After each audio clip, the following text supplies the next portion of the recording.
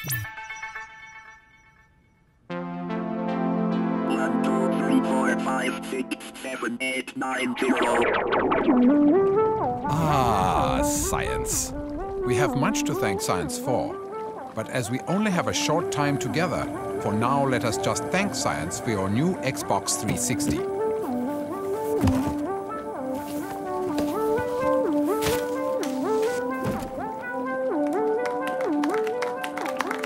Let's stop right there.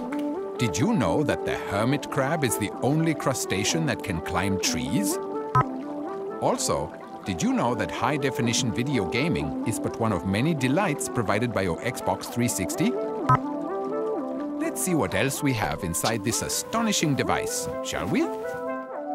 Simply depress the guide button on the center of your controller and you will see a selection of five glorious tabs, Hey, good to see you.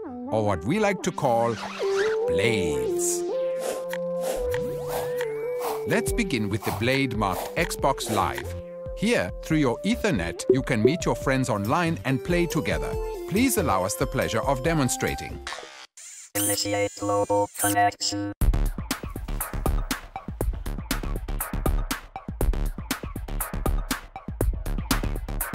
Now playing online. Okay, time to test the old noggin. Where does one look to download videos, games, and other enticing extras? Nope, not there. Or there. No, sir. Uh-uh. Correct. It's their Marketplace Blade. Once you download an arcade game from Marketplace, you'll find the new game handily filed under the Games Blade. They're fun and easy, and absolutely anyone can play. Even you, Uncle Murray. Oh, huh? Next, let's inspect the Media Blade. Here you can store your pictures, videos, and music, or view them right from your PC. You can also access all this fabulous, wonderful, glorious, wonderful media via the USB port on your console face. Simply open the flap and insert. Open, insert. And lastly, we come to System, where you can set controls for gaming and content.